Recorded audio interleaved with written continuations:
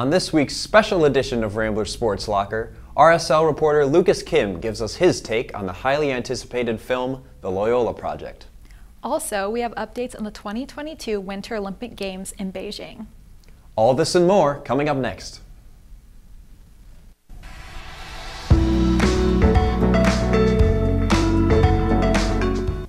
Happy Valentine's Day and welcome back to another lovely episode of the Rambler Sports Locker. I'm Nate Keough. And I'm Tori Van Arsdale.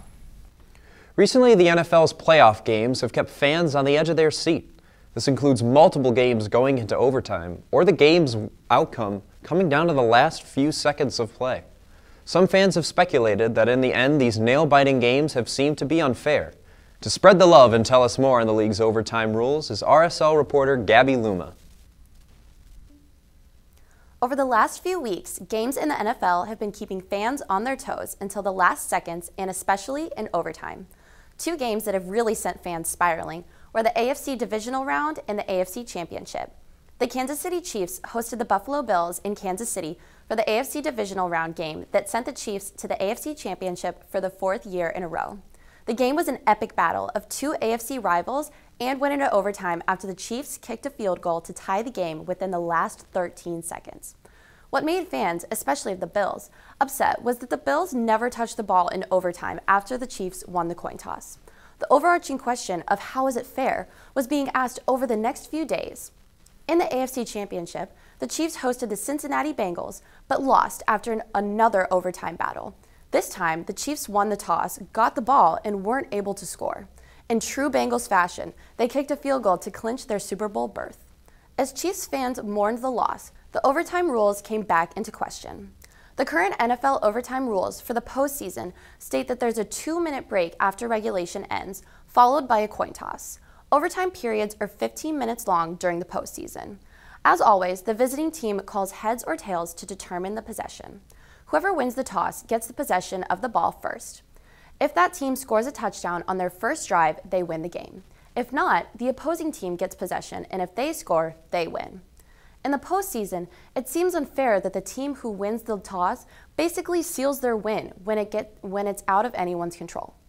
Understandably, the postseason rules are different because games can't end in a tie, but both teams deserve the chance to possess the ball in overtime.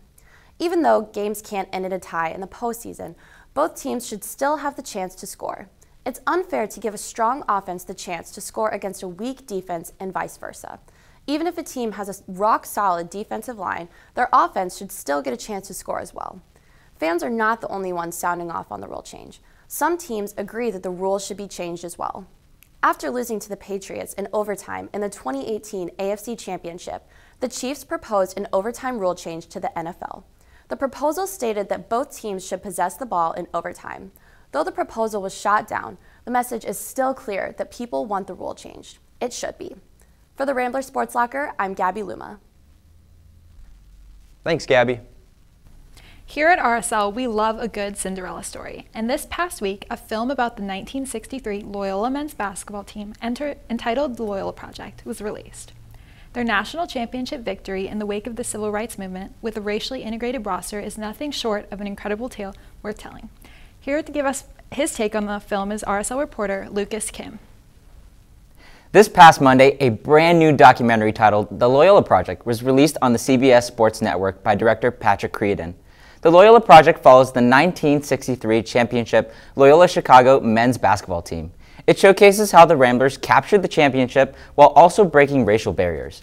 Their success in basketball came at the height of the civil rights movement during the 1960s. The documentary is narrated by Lucas Williamson, Loyola's fifth year graduate student who was one of few Loyola players to score over a 1,000 points as a Rambler. The documentary began production in the wake of the 2020 George Floyd riots. Williamson and Creedon find the film personal since they both share the experience of growing up in Chicago. Williamson describes the Loyola Project a success story that all people should know about. The story of the 63 Ramblers has significance in the college basketball world and American history. Creedon released the documentary in February in celebration of Black History Month. The documentary is set to tour at 63 different colleges around the country and is available for streaming on Paramount Plus coming soon. For the Rambler Sports Locker, I'm RSL reporter Lucas Kihmm. Thanks, Lucas. The world's most beloved football tradition is around the corner. and that's none other than the Super Bowl. The Cincinnati Bengals take on the Los Angeles Rams for the championship this Sunday, the 13th. The Rams are currently favored to win, but the Bengals have turned their season around, and they're not done just yet. With more information regarding both teams' journey to the Super Bowl is RSL reporter Amelia Villhauer. Calling all sports fans, the time has come for the event of the season, the one, the only Super Bowl. This Sunday, we'll be seeing the Los Angeles Rams and Cincinnati Bengals in an ultimate showdown at SoFi Stadium in Los Angeles. This game will be a big one for the Bengals, considering they haven't been to the Super Bowl since their tragic loss to the San Francisco 49ers in 1988. In two years, the Bengals went from being one of the worst playing teams in the NFL with a 2 and 14 season to entering the postseason as the number four seed after winning the AFC North with a 10 and 7 record. From there, they defeated the Kansas City Chiefs in the AFC Championship game, ultimately giving them their first chance in 33 years to play in a Super Bowl. Many believe bringing in Zac Taylor as head coach in 2019 and drafting Joe Burrow as quarterback in 2020 were the changes that led to the Bengals improving. As for the Rams, they last played the Super Bowl in 2018 and lost to the New England Patriots. Since then, they've traded quarterback Jared Goff for quarterback Matthew Stafford and have signed wide receiver Odell Beckham Jr. and outside linebacker Von Miller. They ended their regular season with a 12 and 5 record and now have the chance to win the Super Bowl at their home stadium, which was done for the first time last year by the Tampa Bay Buccaneers. Good luck to the Rams and the Bengals this weekend and to the fans for the battles in grocery stores to find the perfect Super Bowl snacks. I'm RSL reporter Amelia Villhauer. Thanks, Amelia. The 2022 Winter Olympic Games have kicked off in Beijing on February 4th and have been quite the treat so far. This international sporting event only happens every four years, but it always seems to bring our world together in love for sport. To give us all the important updates and details on the Games is RSL reporter Andrea Barone. The 2022 Winter Olympics started February 4th. Since then, Team USA has secured 10 medals, four gold, one being by Julia Jacobellis in women's snowboarding cross. At age 36, she is the oldest Olympian to win gold in this category the second being won by Chloe Kim in the women's halfpipe. The third gold was taken by Nathan Chen, Chen being the first American man in the singles figure skating competition since 2010. Lastly, Ashley Caldwell and Justin Schoenefeld got the gold in mixed freestyle skiing. The five silver medals won were kicked off in slopestyle snowboarding by Julia Marino and freestyle skiing by Jaelin Kauf. Team USA secured its first ever silver medal in the figure skating team event, just narrowly beating China 65 to 63 points for that medal. Closing off the silver medals for now is Ryan Cochran Siegle in alpine skiing, following in his mother's footsteps, who won the gold back in 1972. Wrapping up our medal count is Jessie Diggins, becoming the first American woman to win an Olympic medal in an individual cross country skiing event with her bronze.